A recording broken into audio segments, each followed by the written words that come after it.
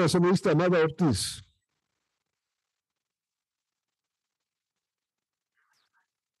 Gracias, estimado presidente.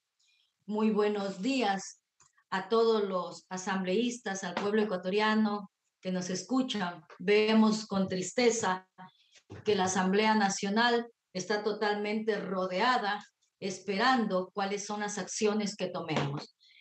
Asambleístas como ustedes y yo conocemos, todos tenemos el mismo derecho de hablar e intervenir. Aquí no es que si el asambleísta de nombre tal le gusta o no le gusta la intervención.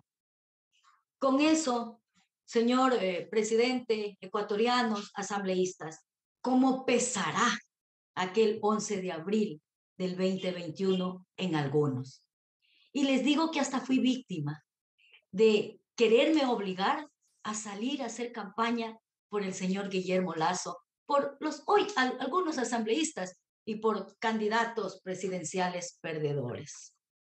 Hoy, con dolor, veo la desesperación de los productores de mi provincia, que no han podido sacar sus productos. He visto las enormes pérdidas del sector avícola, que no tienen balanceado para sostener sus producciones. Lo poco que haya caído en manos de la especulación y los controles son insuficientes. En el sector rural son inexistentes. Hay productos que se venden incluso con un 200% de incremento. Como país, hemos vivido situaciones y momentos duros en la que no se cerró la cadena de alimentación.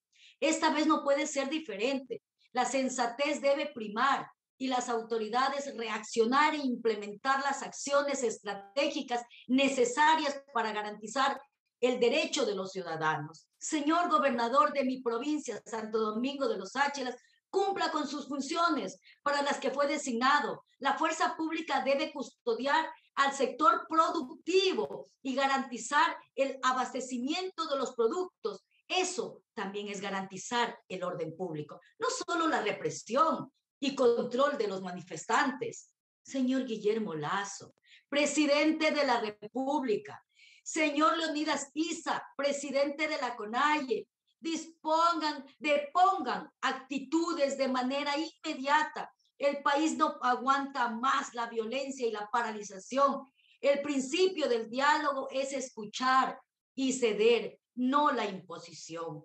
Las demandas que hoy movilizan a miles de ecuatorianos deben de ser escuchados y atendidas en una mesa de diálogo.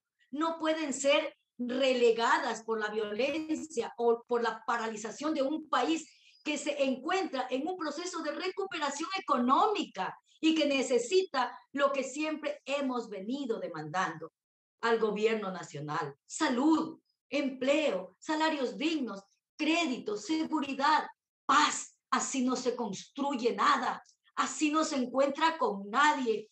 Por ello, una vez más, quiero decir y quiero expresar la voz.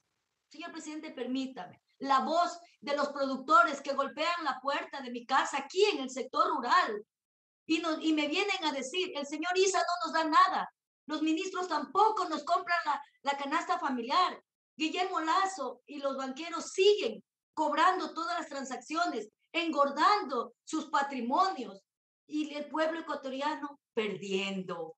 Yo vi señor presidente y ecuatorianos, como en el sector de Nanegalito, un furgón con 50 mil pollitos bebé los botaban porque se estaban muriendo. Y aquí los productores de esta vía donde me encuentro en mi domicilio, ya no tenemos que comer.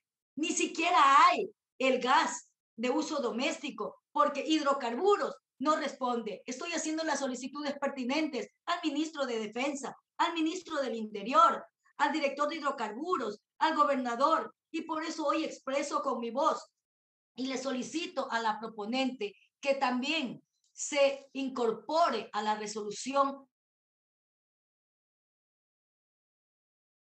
para custodiar la cadena de alimentación. Eso también es vida. También estoy de acuerdo con aquel asambleísta que dijo que las leyes no salvan ni, mejoran la salud, pero la alimentación sí Eso sí es vida y eso no es culpa de los asambleístas. Tenemos un gobierno que si fuera un poco más eficiente, humano, menos vanidoso, menos caprichoso, capaz que los ecuatorianos tendríamos en este momento por lo menos que comer. Estamos encerrados y no tenemos dónde ir a comprar. A más de que ni siquiera hay el dinero.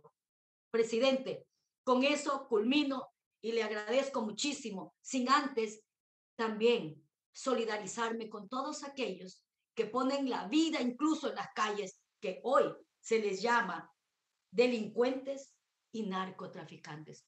No juzguemos. Cuando estamos en campaña, les decimos mandantes. Gracias, presidente.